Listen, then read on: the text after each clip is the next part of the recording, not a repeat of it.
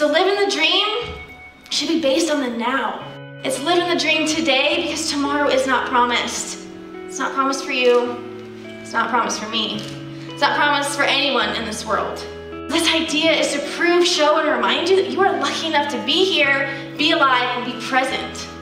To stop dreaming and start actually doing. Living the dream is not your end-all, be-all, like we like to think. It's not the glitz and glam of life.